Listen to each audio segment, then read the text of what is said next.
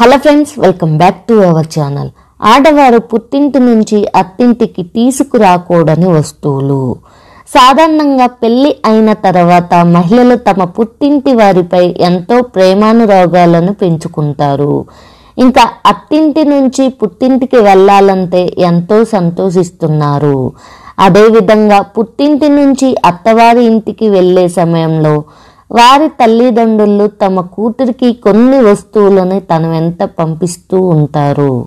పెళ్ళైన తర్వాత మహిళలు పుట్టింటి నుంచి అత్తవారింటికి పొరపాటున కూడా పుల్లటి వస్తువులను చేదు వస్తువులను తీసుకుపోకూడదు.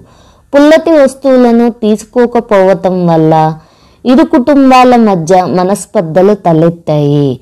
అదేవిధంగా చేదు వస్తువులను తీసుకువెళ్ళడం వల్ల ఇరు కుటుంబాల మధ్య అభిప్రాయ భేదాలు వస్తాయి. అదేవిధంగా పుట్టింటి నుంచి మహిళలు అత్తవారింటికి చీపిటిను తీసుకువెళ్ళకూడదు. ఈ విధంగా తీసుకోకపోవడం వల్ల పుట్టింట్లో ఉండే లక్ష్మిని తన వెంట తీసుకుపోతున్నట్లు అవుతుంది. ఈ విధంగా చీపిరి ఉప్పు చింతకాయ పచ్చడి వంటి వస్తువులను తీసుకువెళ్ళేటప్పుడు ఊరికనే కాకుండా పుట్టింటి వారికి కొంత డబ్బును చెల్లించి తీసుకువెళ్ళవచ్చు.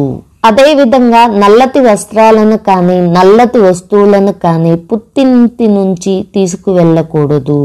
మరికొందరు తమ పుట్టింటి నుంచి గుర్తుగా కొన్ని పూజా సామాగ్రిని తీసుకొని వస్తారు.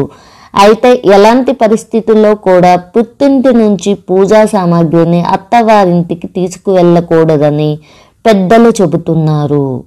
కనుక పుట్టింటి నుంచి మహిళలు ఈ వస్తువులను ఎలాంటి పరిస్థితుల్లో తీసుకురాకూడదు. థ్యాంక్ యూ ఫ్రెండ్స్ మీకు ఈ వీడియో నచ్చిందా? నచ్చితే లైక్ చేసి సపోర్ట్ చేయండి. అలాగే మరిన్ని వీడియోస్ కోసం నా ఛానల్ని సబ్స్క్రైబ్ చేసుకోండి. పక్కనే ఉన్న బెల్ ఐకన్ని క్లిక్ చేయండి.